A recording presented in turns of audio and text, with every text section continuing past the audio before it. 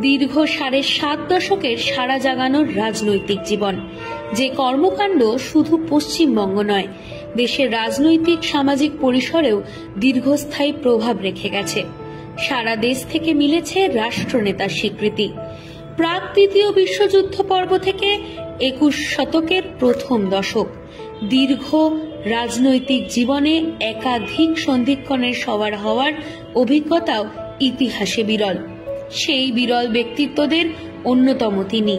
তিনি জ্যোতি বসু। উনিশশো থেকে দু অবিভক্ত বঙ্গপ্রদেশ থেকে দেশভাগের কাটা ছেড়ায় ছিন্ন ভিন্ন পশ্চিমবঙ্গ। উনিশশো তেতাল্লিশের দুর্ভিক্ষ থেকে তেভাগা আন্দোলন।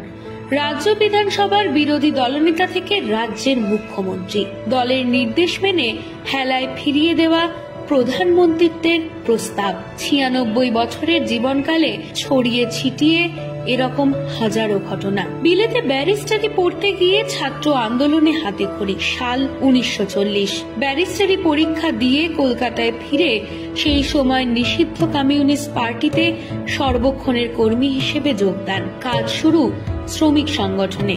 উনিশশো ছেচল্লিশে রেল শ্রমিক কেন্দ্র থেকে কমিউনিস্ট পার্টির প্রার্থী হিসেবে নির্বাচিত হয়ে বঙ্গীয় আইনসভায় প্রবেশ। উনিশশো ছেচল্লিশ থেকে উনিশশো বাহাত্তর রাজ্য বিধানসভায় তিনি বিরোধীদের প্রধান কণ্ঠস্বর। মাঝে কিছু সময়ের জন্য রাজ্যের যুক্তফ্রন্ট সরকারের উপমুখ্যমন্ত্রী। একদিকে রাজ্যে ভুলুণ্ঠিত গণতন্ত্র, গণতান্ত্রিক আন্দোলনের কণ্ঠরোধ। সেই সময়েই সামনে দাঁড়িয়ে লড়াইয়ের নেতৃত্ব। বিরোধীদের একজোট করে শাসকের বিরুদ্ধে কড়া প্রতিরোধ গড়ে তোলা। কঠিন পরিস্থিতির সবটুকু জুড়েই তুলনাহীন তার ক্ষুরোধার যুক্তি, তার গুরুত্ব, তার প্রভাব, ভাবনা, রণনীতি, রণকৌশল। অবশেষে উনিশশো সাতাত্তর থেকে দু হাজার টানা চৌত্রিশ বছরের মুখ্যমন্ত্রীত্বে শূন্য পশ্চিমবঙ্গ থেকে পূর্ণ পশ্চিমবঙ্গে উত্তরণের লড়াই। জ্যোতি বসু সম্পর্কে খুব অল্প শব্দে অনেক কিছু বলে ফেলা কার্যত অসম্ভব।